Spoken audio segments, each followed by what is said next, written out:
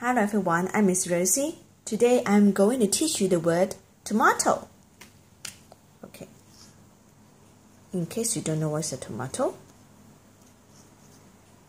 To ma to or you can call it tomato, it doesn't matter. So how do we remember this word? First, we have ma in the middle. Ma and then we have a mom here.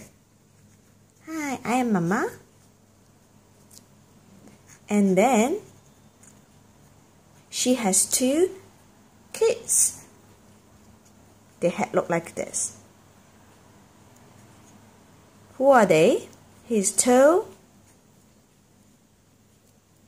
and toe. Sorry, it's a little bit ugly.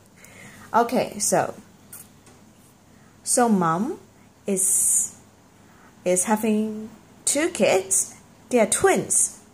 Tomato. Tomato. Okay? Then you remember the word. And don't forget, when you have more than one tomato, add ES, but not just S. Okay? That's it for today. Bye.